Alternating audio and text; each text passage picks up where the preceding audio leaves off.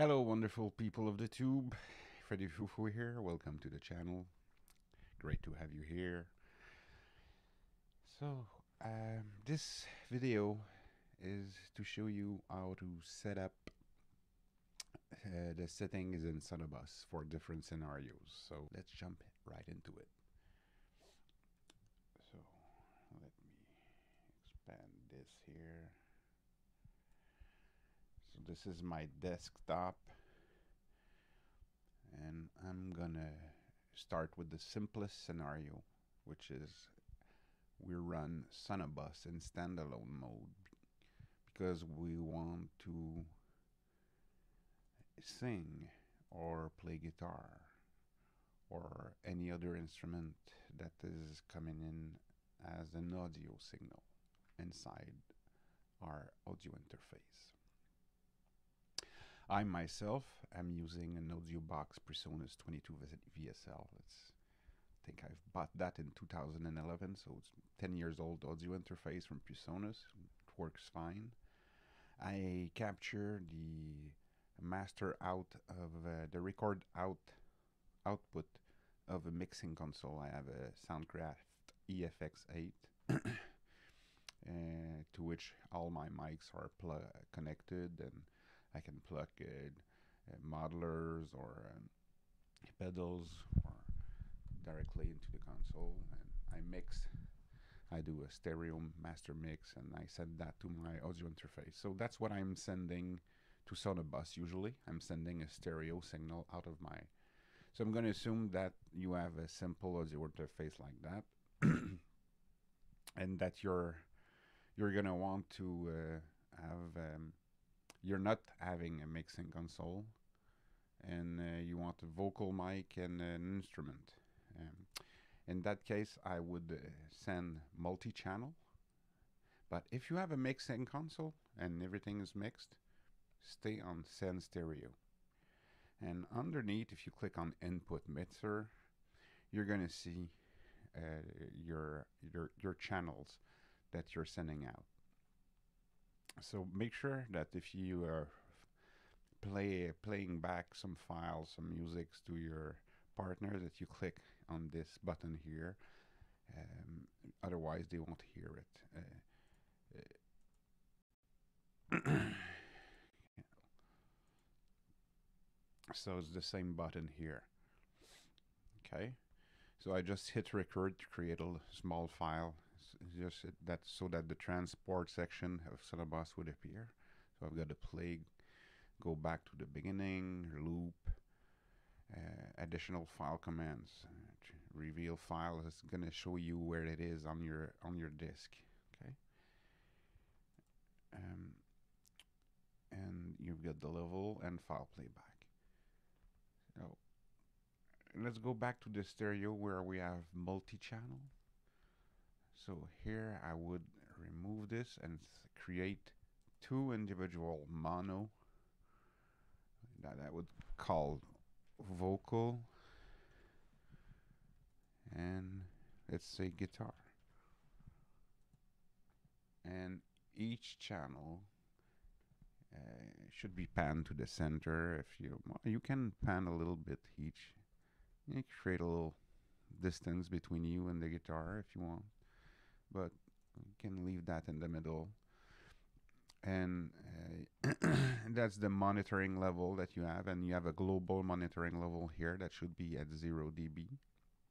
If you only want to hear yourself you can click the solo button. This here toggles the chat window. I highly recommend you leave the chat window open. Um, what else? If uh, you um, um, click on effects. Here you've got noise gate a compressor and a parametric EQ and a, a input reverb send that you can send. There's a global reverb effects and the just be beside the out level here that's the global reverb.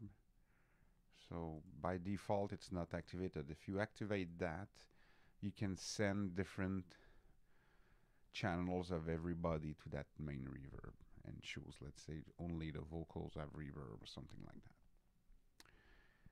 So let's go back to those effects here. Compressor is really useful also.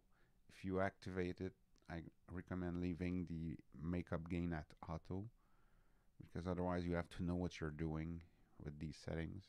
You can back that off a little bit if you or put it higher up and the gain here will adjust because you're you're on auto mode. And also the noise gate uh, if you if you still hear a nis you you raise the and but if you have to go more than than noon you have a, a, a really hot signal coming in and maybe you should back that down a little bit instead or trying try to find a way to eliminate the um and the hisses in your signal chain. And if you click on Sonobus here it's gonna make the different option menu appear. So let's go you should use an ASIO driver for uh, the least latency um, I'm using my PreSonus audio box driver. Uh, sample rate I, I recommend using 48 kilohertz and making that the default on your Windows machine and everything to default to that.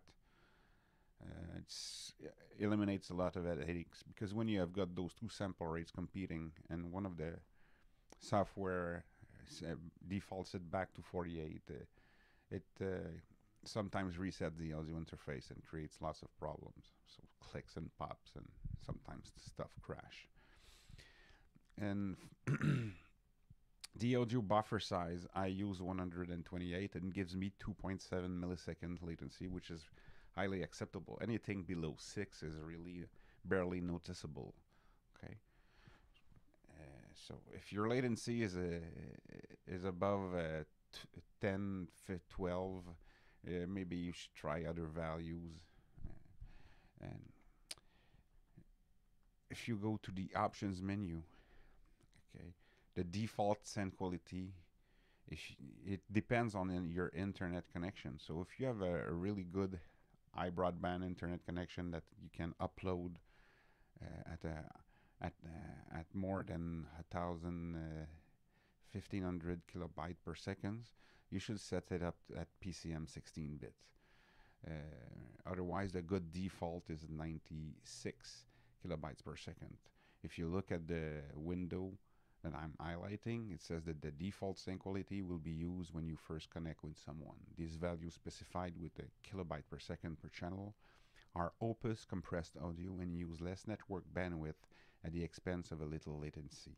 It is not recommended to use less than 96 kilobyte per second per channel as that will increase latency more.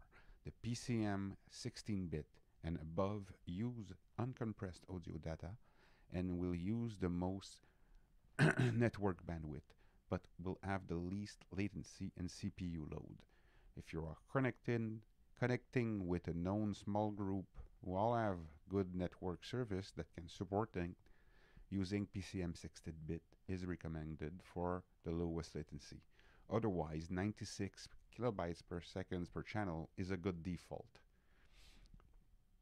So, Tom, let's Buzzy and Scott try PCM 16-bit by default, and if you hear gargle, gargles and pops uh, or sudden drops, uh, go down to 96, and if it stay good, stay there.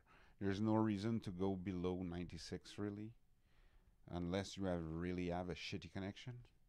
Maybe you should look to upgrade your connection instead of changing the Sonobus setting. Uh, and here the default jitter buffer I set it up at initial auto and uh, there's a this I leave I haven't studied these settings. I leave that at that. Auto the threshold is 5 seconds I think that's the default that came. The default user level I leave it at 0 dB. I click the use input effects limiter and the, the slider snaps to click position and to automatically check for updates. Recording, uh, I, you put the path here at the top where you want to save your files. I have a Sonobus subfolder in, in my music. uh, folder. Uh, I save in WAV file in 24 bit. You have other format like FLAC or OGG. That's just my per personal preference. And I click all these options here except the metronome. So later on you can remix each tracks individually and, or create backing tracks to record over. It's really an amazing feature. So what's one of the best feature of the Sonobus is that that record these four options that that are recorded at the same time. So you really don't need a DAW uh, unless you want to put a lot of use plugin before Sonobus. So the uh, only reason to not use a standalone is, is if you need plugins activated before uh, the, the audio signal hits Sonobus. We'll see that in another video. Um, so once uh, you've done uh, set setting all the done all the correct setting, you can save these the setup. Okay, and uh, I've got the default Sonobus setup. Save. Then that you can reopen later on. Load setup. Default Sonobus. Okay, and then if you click the connect option there's private groups public groups and then this is the field where you put your name. It's called your display name and if you want to create a group you have to type it in. In a private group you have to type it in anyway. But in a public group you can create a group or join any group that there are. And you can use the recent column here to recall any previous group you joined. Um, so make sure that uh, you're in the proper group with the proper name and click connect. And here you go.